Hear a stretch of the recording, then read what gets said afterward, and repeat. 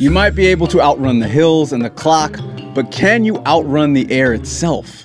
That is the question. In this episode, you're gonna learn the crazy ways air pollution can steal your speed and how to fight back, where to find real time data so that you can dodge the smoggiest spots on your route. Hang tight because in the middle of the episode, we're gonna give you a solution that's so easy and it's actually gonna get better while taking care of your lungs now sets you up for better running long term and much more. I'm Darren D. Lake, running a nutrition coach, sub 3 hour marathoner, and 10 hour Ironman finisher. Since 1996, I've been helping other self coach runners, researching and experimenting on how to better myself 1% each day because the 1% better runner, that's who we are, doesn't do three week quick hacks. Instead, we give you lifelong tools to run better for the next three decades. That's 30 years. Let's get into it. All right, so you remember the first time you laced up your shoes and thought, okay, I'm about to do this. I'm a runner. Let's get into it. Back then, the challenge was about building distance or learning to suffer through fast intervals. There's actually a better problem hovering around every corner air pollution. It's dangling in the air. So let's break down what's actually going in your lungs when the air isn't exactly fresh. What is actually happening with air pollution and running? Air pollution isn't just hazy skies in the distance.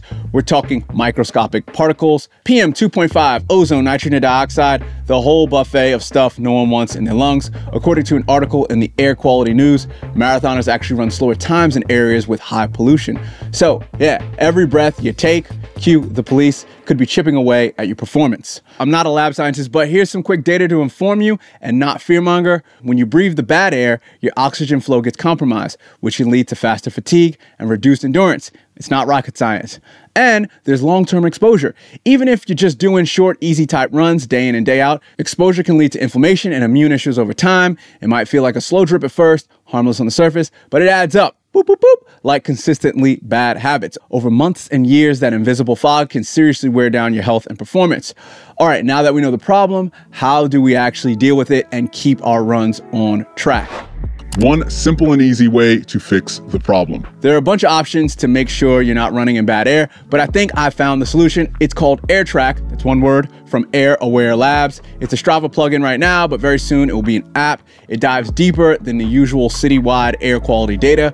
You get real time data with a breakdown of the actual particles in the air for the exact block or trail you're running right after you run. They did not pay me for this. I wanted to do this because it's a really cool app and more people need to actually use this. So forget your town air quality moderate alerts. Now you'll know if that downtown city loop you love is actually a hotspot for bad air which allows you to train smarter. I don't think you should get obsessed though, because it's not about stressing over every molecule in the air. It's kind of impossible.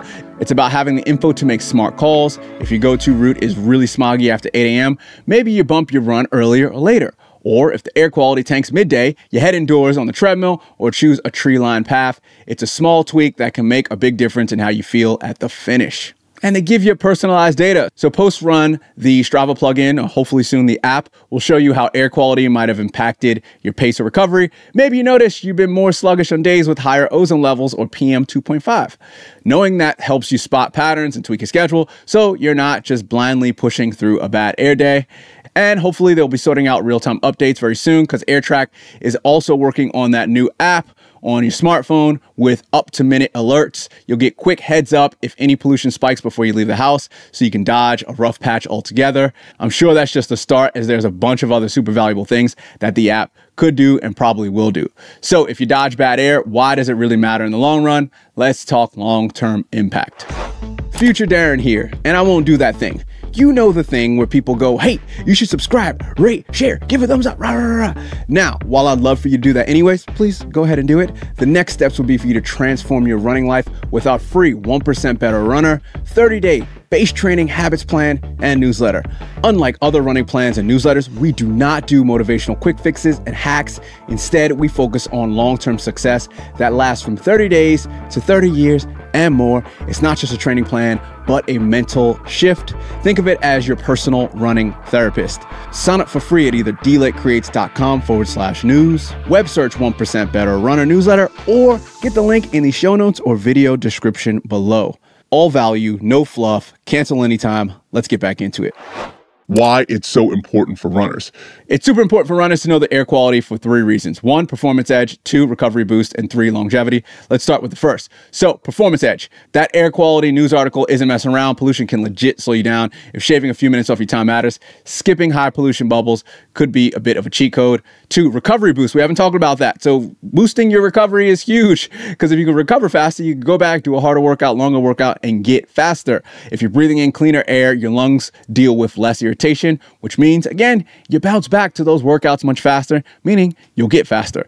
Three, longevity. Running isn't just a hobby. For a lot of us, it's a lifestyle. 1% better runner, it's the whole thing. Keeping your lungs healthy isn't just about the next race, it's about sticking with this for the long haul and staying as strong at 60 years old as you were at 30 years old. The finish line. Final thoughts.